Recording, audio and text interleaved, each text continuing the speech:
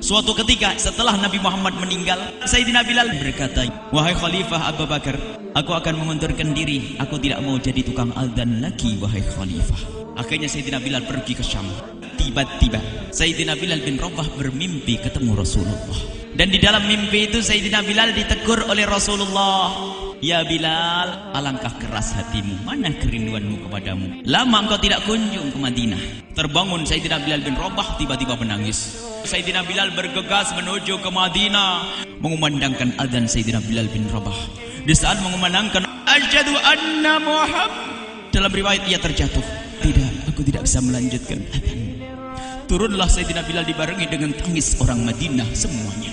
Fahami makna tangis ini.